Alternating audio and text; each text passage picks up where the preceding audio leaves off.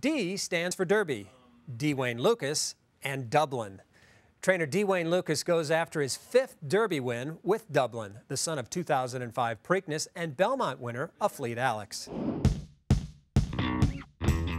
They are at the top of the stretch in the hopeful, and it is Dublin going head to head here with Westover Wildcat. Westover Wildcat, Dublin wandering to the outside, but Dublin's got a narrow lead now. Aspire comes on through in between horses as they come down to the finish, and it is Dublin who wins the hopeful by two lengths on the wire.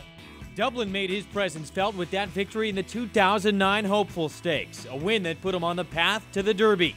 He's been a consistent earner in his three year old campaign, within the money finishes in the Southwest, Rebel, and Arkansas Derby. The question is can D. Wayne Lukas turn this contender into a winner when it counts most on the first Saturday in May?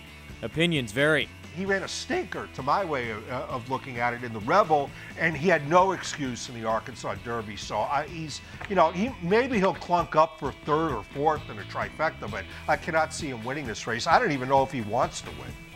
This horse has to be running uh, 13th, well 14th in the Derby.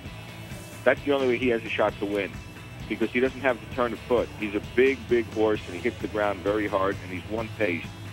So what you want to do, the one thing he has going in his favor is that he has a very long, sustained run. He can start his run at the 5-8 pole and keep going and coming and coming and coming. We'll see who's right on May 1st at Churchill Downs.